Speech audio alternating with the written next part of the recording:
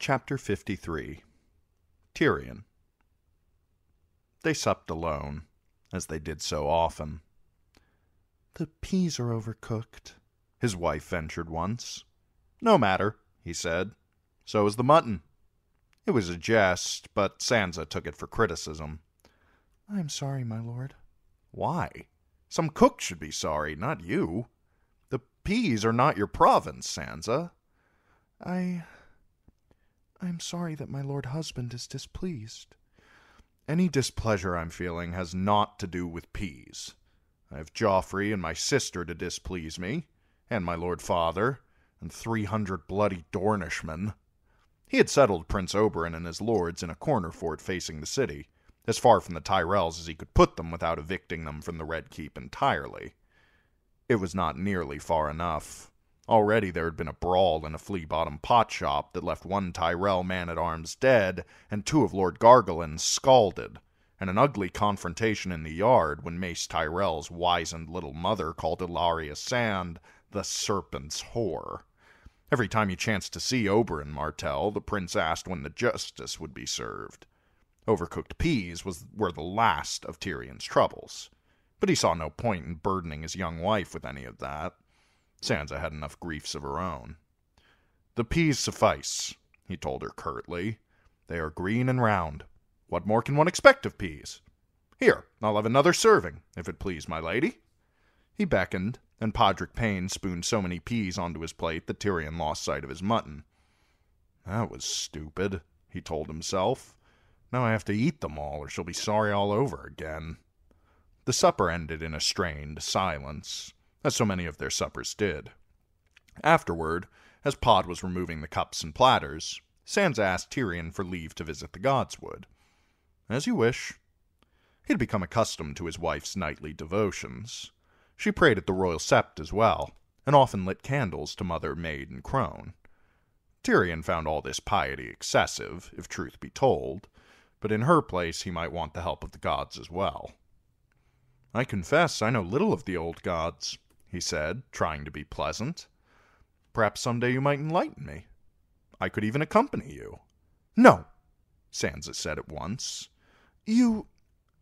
You are kind to offer, but. There are no devotions, my lord. No priests or songs or candles. Only trees and silent prayer. You would be bored. No doubt you're right. She knows me better than I thought though the sound of rustling leaves might be a pleasant change from some septon droning on about the seven aspects of grace. Tyrion waved her off. I won't intrude. Dress warmly, my lady. The wind is brisk out there. He was tempted to ask what she prayed for, but Sansa was so dutiful she might actually tell him, and he didn't think he wanted to know. He went back to work after she left, trying to stack track some golden dragons through the labyrinth of Littlefinger's ledgers. Petyr Baelish had not believed in letting gold sit about and grow dusty, that was for certain. But the more Tyrion tried to make sense of his accounts, the more his head hurt. It was all very well to talk of breeding dragons instead of locking them up in the treasury, but some of these ventures smelled worse than weak old fish. I wouldn't have been so quick to let Joffrey fling the antler men over the walls if I'd known how many of the bloody bastards had taken loans from the crown. He would have to send Bronn to find their heirs but he feared that would prove as fruitful as trying to squeeze silver from a silverfish. When the summons from his lord father arrived, it was the first time Tyrion could ever recall being pleased to see Sir Boros Blount. He, dr- he closed the ledgers gratefully, blew out the oil lamp, tied a cloak around his shoulders, and waddled across the castle to the Tower of the Hand. The wind was brisk, just as he'd warned Sansa, and there was a smell of rain in the air. Perhaps when Lord Tywin was done with him, he should go to the Godswood and fetch her home before she got soaked. But all that went straight out of his head when he entered the Hand Solar to find Cersei, Sir Kevan, and Grand Maester Pycelle gathered about Lord Tywin and the king. Joffrey was almost bouncing, and Cersei was savoring a smug little smile, though Lord Tywin looked as grim as ever. I wonder if he could smile even if he wanted to. What's happened? Tyrion asked. His father offered him a roll of parchment. Someone had flattened it, but it still wanted to curl. Roslin caught a fine fat trout, the message read. Her brothers gave her a pair of wolf pelts for her wedding. Tyrion turned it over to inspect the broken seal. The wax was silvery gray, and pressed into it were the twin towers of House Frey. Does the Lord of the Crossing imagine he's being poetic? Or is this meant to confound us? Tyrion snorted. The trout would be Edmure Tully, the pelts. He's dead! Joffrey sounded so proud and happy you might have thought he'd skinned Robb Stark himself. First Greyjoy and now Stark. Tyrion thought of his child wife, praying in the godswood even now, praying to her father's gods to bring her brother victory and keep her mother safe, no doubt. The old gods paid no more heed to prayer than the new ones, it would seem. Perhaps he should take comfort in that. Kings are falling like leaves this autumn, he said. It would seem our little war is winning itself. Wars do not win themselves, Tyrion, Cersei said with poisonous sweetness. Our Lord Father won this war. Nothing is won so long as we have enemies in the field, Lord Tywin warned them. The River Lords are no fools, the Queen argued.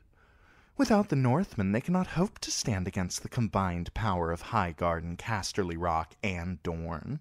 Surely they will choose submission rather than destruction. Most, agreed Lord Tywin. Riverrun remains, but so long as Walder Frey holds Edmure Tully hostage, the Blackfish dare not mount a threat. Jason Mallister and Tytos Blackwood will fight on for honor's sake, but the Freys can keep the Mallisters penned up at Seaguard, and with the right inducement, Jonos Bracken can be persuaded to change his allegiance and attack the Blackwoods. In the end, they will bend the knee. Yes, I mean to offer generous terms. Any castle that yields to us will be spared, save one. Harrenhal, said Tyrion, who knew his sire. The realm is best rid of these brave companions. I have commanded Sir Gregor to put the castle to the sword. Gregor Clegane. It appeared as if his lord father meant to mine the mountain for every last nugget of ore before turning him over to Dornish justice. The brave companions would end up as heads on spikes, and Littlefinger would stroll into Harrenhal without so much as a spot of blood on those fine clothes of his. He wondered if Petyr Baelish had reached the Vale yet. If the gods are good, he ran into a storm at sea and sank. But when had the gods ever been especially good? They should all be put to the sword, Joffrey declared suddenly. The Mallisters and Blackwoods and Brackens, all of them. They're traitors. I want them killed, grandfather. I won't have any generous terms. The king turned to Grand Maester Pycelle. And I want Robb Stark's head, too. Write to Lord Frey and tell him. The king commands. I'm going to have it served to Sansa at my wedding feast. Sire, Sir Kevan said in a shocked voice, the lady is now your aunt by marriage. A jest, Cersei smiled. Joff did not mean it. Yes, I did, Joffrey insisted. He was a traitor, and I want his stupid head. I'm going to make Sansa kiss it. No. Tyrion's voice was hoarse. Sansa is no longer yours to torment. Understand that, monster! Joffrey sneered. You're the monster, uncle. Am I? Tyrion cocked his head. Perhaps you should speak more softly to me then. Monsters are dangerous beasts. And just now, kings seem to be dying like flies. I could have your tongue out for saying that, the boy king said, reddening. I'm the king! Cersei put a protective hand on her son's shoulder. Let the dwarf make all the threats he likes, Joff. I want my lord father and my uncle to see what he is. Lord Tywin ignored that. It was Joffrey he addressed. Aerys also felt the need to remind men that he was king, and he was passing fond of ripping tongues out as well. You could ask Sir Ilyn Payne about that, though you'll get no reply. Sir Ilyn never dared provoke Aerys the way your imp provokes Joff, said Cersei. You heard him. Monster, he said, to the king's grace, and he threatened him. Be quiet, Cersei. Joffrey, when your enemies defy you, you must serve them steel and fire. When they go to their knees, however, you must help them back to their feet. Elsewise, no man will ever bend the knee to you. And any man who must say, I am the king, is no true king at all. Aerys never understood that, but you will. When I've won your war for you, we will restore the king's peace and the king's justice. The only head that need concern you is Margaery Tyrell's maidenhead. Joffrey had that sullen, sulky look he got.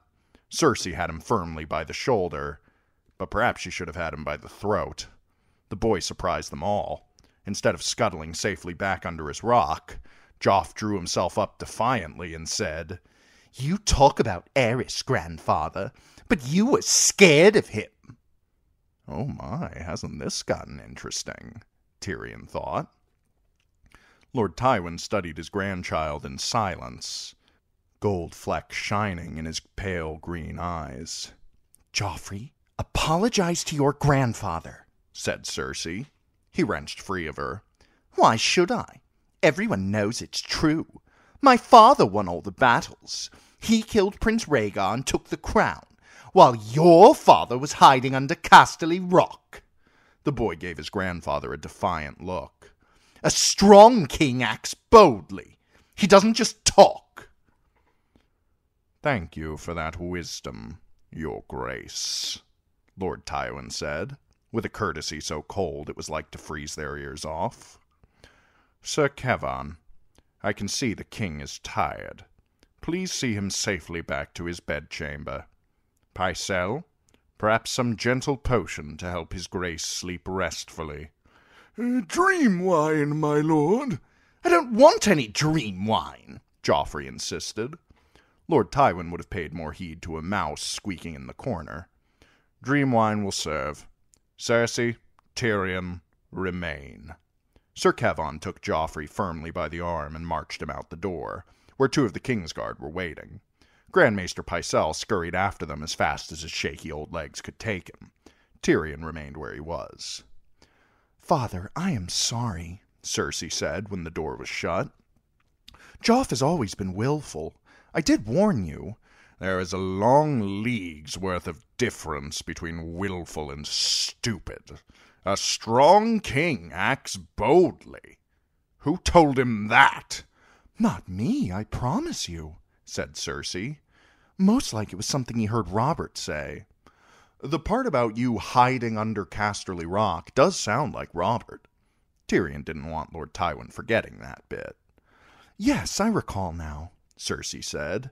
Robert often told Joff that a king must be bold. And what were you telling him, pray? I did not fight a war to seat Robert the Second on the Iron Throne. You gave me to understand the boy cared nothing for his father. Why would he? Robert ignored him. He would have beat him if I'd allowed it. That brute you made me marry once hit the boy so hard he knocked out two of his baby teeth over some mischief with a cat. I told him I'd kill him in his sleep if he ever did it again. And he never did, but sometimes he would say things. It appears things needed to be said. Lord Tywin waved two fingers at her, a brusque dismissal. Go. She went, seething. Not Robert the Second, Tyrion said. Aerys the Third. The boy is thirteen. There's time yet. Lord Tywin paced to the window. That was unlike him. He was more upset than he wished to show. He requires a sharp lesson. Tyrion had gotten his own sharp lesson at thirteen. He felt almost sorry for his nephew. On the other hand, no one deserved it more. Enough of Joffrey, he said. Wars are won with quills and ravens. Wasn't that what you said? I must congratulate you. How long have you and Walder Frey been plotting this? I mislike that word, Lord Tywin said stiffly. And I mislike being left in the dark. There was no reason to tell you. You had no part in this. Was Cersei told? Tyrion demanded to know. No one was told, save those who had a part to play, and they were only told as much as they needed to know. You ought to know that there is no other way to keep a secret, here especially. My object was to rid us of a dangerous enemy as cheaply as I could, not to indulge your curiosity or make your sister feel important. He closed the shutters, frowning. You have a certain cunning, Tyrion, but the plain truth is you talk too much. That loose tongue of yours will be your undoing. You should have let Joff tear it out, suggested Tyrion. You would do well not to tempt me, Lord Tywin said. I'll hear no more of this. I've been considering how best to appease Oberyn Martell and his entourage. Oh. Is this something I'm allowed to know, or should I leave so you can discuss it with yourself? His father ignored the sally. Prince Oberyn's presence here is unfortunate. His brother is a cautious man, a reasoned man, subtle, deliberate, even indolent to a degree. He is a man who weighs the consequences of every word and every action. But Oberyn has always been half mad. Is it true he tried to raise Dorne for Viserys? No one speaks of it, but yes. Ravens flew and riders rode, with what secret messages I never knew. Jon Arryn sailed to Sunspear to return Prince Lewyn's bones, sat down with Prince Doran, and ended all the talk of war.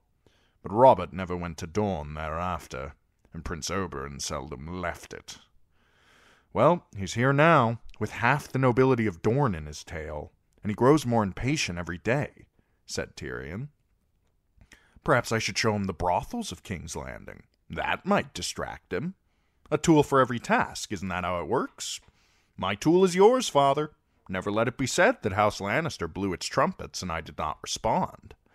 Lord Tywin's mouth tightened. Very droll, Shall I have them sew you a suit of motley, and a little hat with bells on it? If I wear it, do I have leave to say anything I want about His Grace King Joffrey? Lord Tywin seated himself again, and said, I was made to suffer my father's follies. I will not suffer yours. Enough. Very well, as you ask so pleasantly. The Red Viper is not going to be pleasant, I fear, nor will he content himself with Sir Gregor's head alone. All the more reason not to give it to him.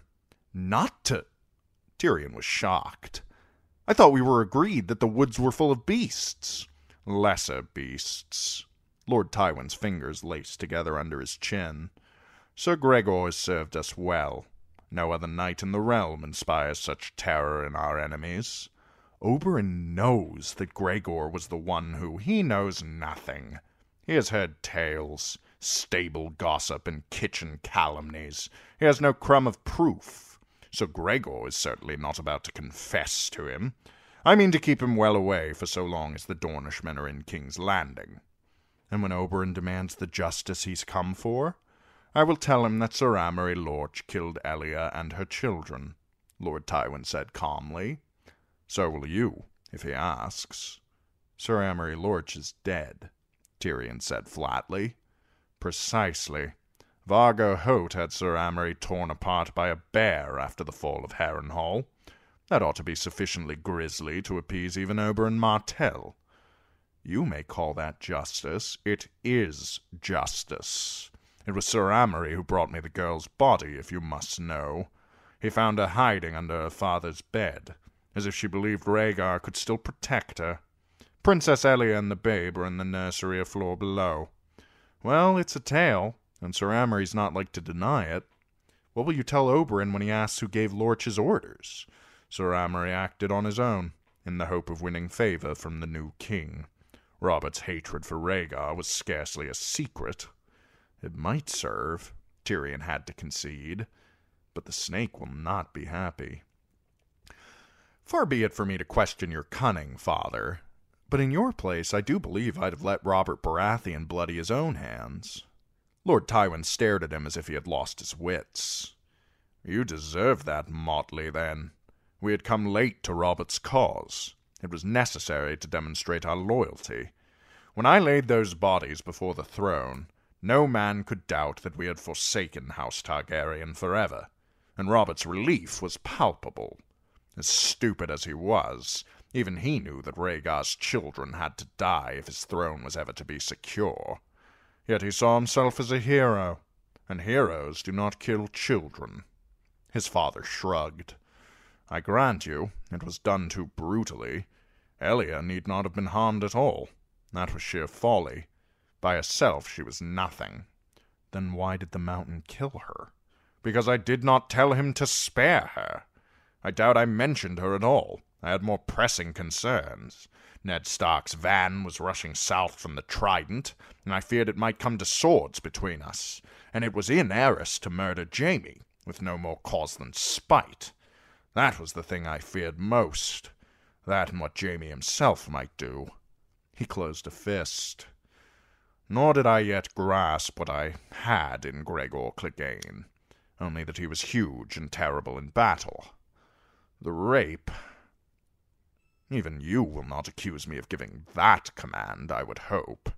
Sir Amory was almost as bestial with Rhaenys. I asked him afterward why it had required half a hundred thrusts to kill a girl of two, three. He said she'd kicked him and would not stop screaming.